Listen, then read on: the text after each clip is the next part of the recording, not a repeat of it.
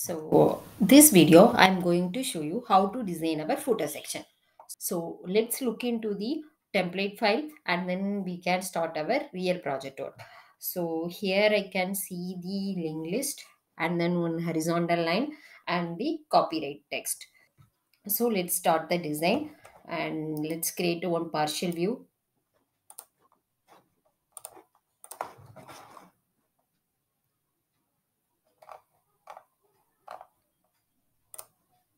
presentation and then partial design and then right click insert partial design footer and then open this in experience editor. Okay. It's loaded. So let's start the design. Mm, so here I can see one row and within the row I can see so here I can see one container and then they have added one row and then column 12 so let's uh, follow the same the component. And then first I have to add the container. So select and yeah it's added. Then add row. Mm, splitter row.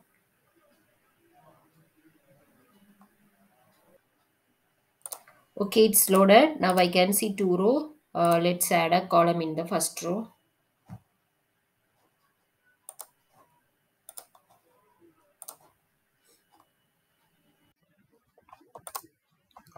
The row page structure and then column. I have added the column. So I can see two column but I want only one column. So let's remove one component so let's remove one of the component Hmm. remove. And then bucket and 12 and laptop also 12 and okay. So now we can add our um, link list. Add component and then navigation link list and select. And create and the folder the folder name is footer footer list. Okay. And let's create a list link list one. Then okay. Now I can see the link list.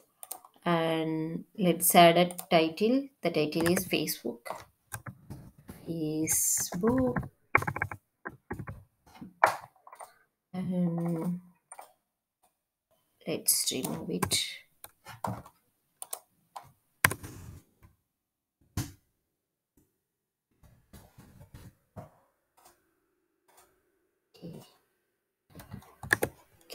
I think we don't need to give this title section. We have to add only the links. So edit the link and Facebook. Description is Facebook and browser. Hmm, okay, it's fine. I think and give the link to this one.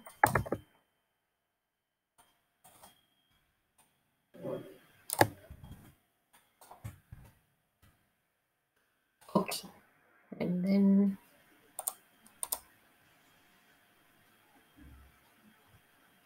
one, two, three, four, five link. So let's save the page and go to the data source.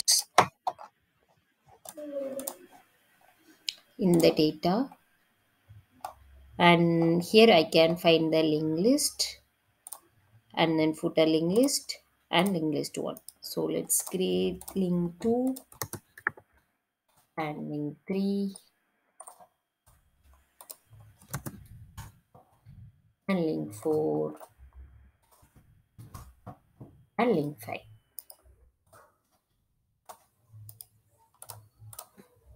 Link five. So the values are Twitter and then Behance and LinkedIn. So insert external link and then give this uh, so i have given the link description and the url is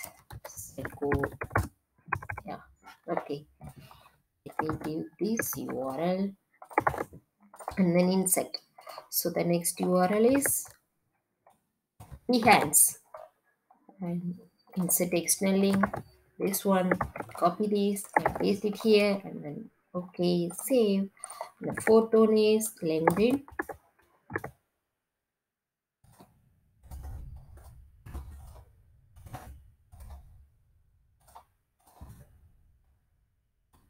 fifth one is this one.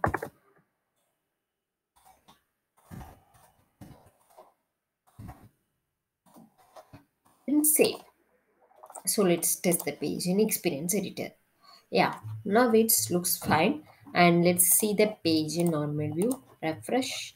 Okay. Actually uh, i just designed my partial design but i didn't added that partial design in my page design. So i could not see that footer section in my home page so let's go to the presentation and then page design.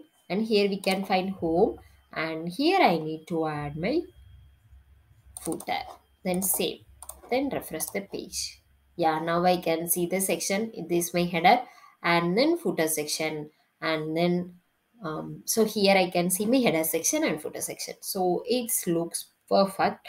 Uh, but i could see um, this horizontal section and one more copyright so i have to add. And one more thing is it should be in center right? It should be in center so let's see is there any options available for this in the bucket section? And alignment content left right center so let's try this. Okay. And then save. And then refresh. Wow. It's amazing. It's worked um so first we will focus on this copyright then we will look into that horizontal line. So let's add one more component and i think this time we can use the rich text for this um, copyright. Uh, but i like to follow the same structure one row and two column. Um, in the row i can see two column component. So the same row i like to add one more column uh, so let's find the row. Okay the row is fine. Then add a component. And here i have to add the splitter column. And then i don't on this one i rem- let's remove. And then packet let's change into 12 and then laptop also 12 then okay. And here we can add our rich text. Rich text. Okay uh, so there are two options in the rich text. One is the uh, rich text and another one is the rich text reusable. In case if i use the first one um, it's like a local data source. Um, if you use the second one it's like a global data source. That means it's a site level. It will automatically create the data source in the data folder uh, not in the local section. So let's uh, use the first one now and select and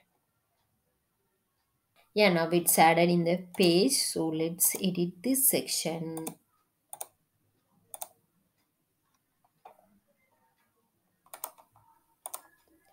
Let's save the page. And then go here. And here i can see the pencil icon edit text. Let's use it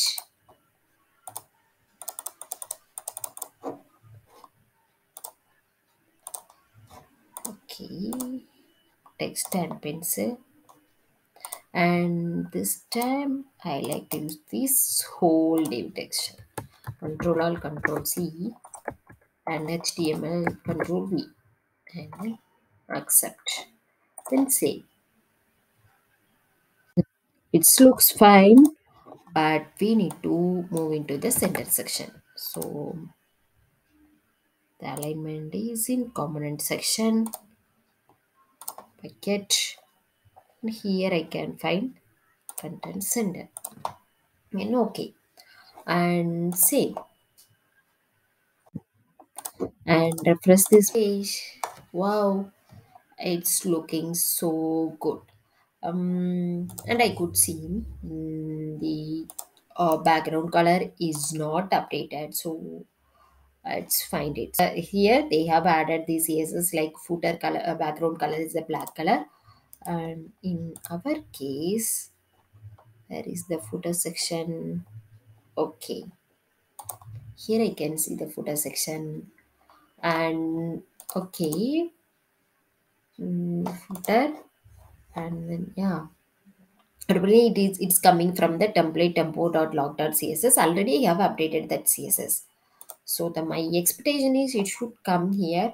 So uh, currently I can see the CSS are coming as the optimized file. So let's remove this optimization.